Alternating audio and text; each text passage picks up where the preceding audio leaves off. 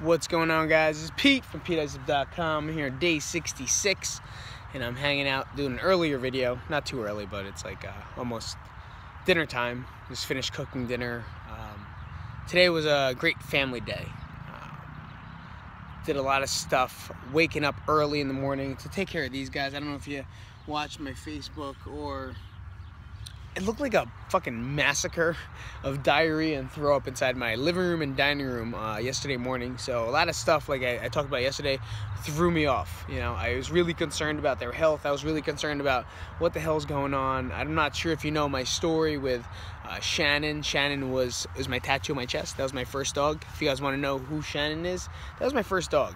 And I watched her go through a period of being older and aging and being in pain and diarrhea and urine all over the place was one of the signs of them getting old.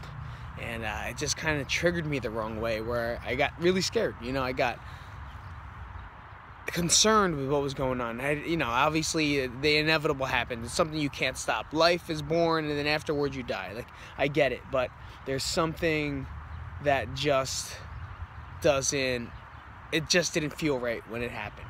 And I'm actually very happy and grateful that it's just an infection, you know, that uh, sea bass and right now even Switch, who just started having diarrhea today, um, is going through something. But I went to the vet, um, got some medicine for them, and hopefully it rides it out. If not, you know, it moves on to the next step. But they're at that age where it's you know it's scary. It's something you want to think about.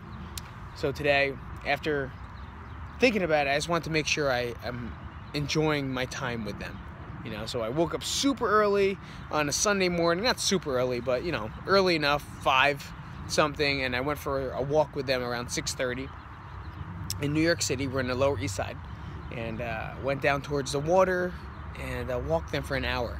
Enjoyed the entire time with them. We snapchatted we instagrammed we hung out. We made youtube videos for how to train for mud runs. We did everything we could do and uh, they enjoyed it. And then after that I picked up Phoenix and my wife, finished feeding him, got him ready, went to Brooklyn Park. We went to the Brooklyn uh, High Line, we hung out there. Again, they walked with us. Um, Phoenix walked with us, my wife walked with us. We got Lizmonade. If you guys don't know what Lizmonade is, it was a lemonade, fresh lemonade that was uh, we had at our wedding, and um, we enjoyed that thoroughly. We stayed there for about another hour and a half, two hours, and finally made it home. Then once I got home, I dropped them off, did what I got to do, and there was my brother's birthday, or it's my brother's birthday yet tomorrow. But we hung out at uh, Shannon Rose. I stayed for like a little bit, then I left because you know, got shit to do. I got to cook dinner, I got to take care of my fams. So today was a big family day for me, and I was very happy, and I appreciate every minute that I had. You know, as the things like I have things tattooed all over me, and everything has meanings.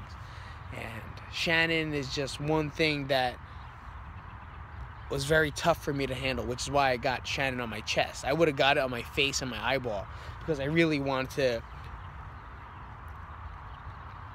distract or not distract, deflect the pain of losing her to me, you know, and I'm a very destructive person. That's who I was, you know, and at that time. And I like pain. Like it's just something that that makes me feel better because it deflects it deflects reality, right? And you don't want to say that you were a cutter or I was a cutter, but there are times that I did that too. You know, it just the pain, physical pain sometimes is so much fucking easier than emotional pain. You know, but I, I obviously tend not to do that anymore and I just deal with the reality as it is. But it was just very scary. So today I focused, and my main focus was to hang out with my fam and make sure that I appreciate every minute, second, week, day that I have with them. And that was today. So speaking of that, now that I'm walking, we're just hanging out right now. This is called meditative time. We sit here and relax. These guys have diarrhea. They're really, really upset. But uh, let's do what you got to do. So I'll see you guys later. It's Pete, day 66. And uh, subscribe up, like, and comment, and I'll see you guys soon. Peace out, guys.